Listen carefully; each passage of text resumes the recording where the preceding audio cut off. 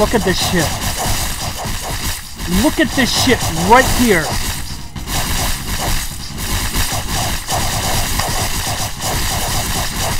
This is some grade A bullshit.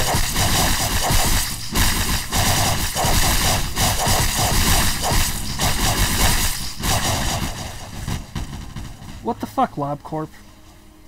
What the fuck?